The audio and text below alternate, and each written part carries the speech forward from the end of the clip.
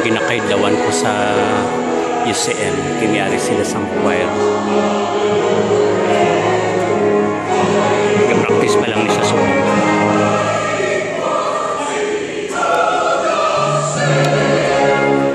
Easter subong, ang cross na siguro butangan na karon sa bulak.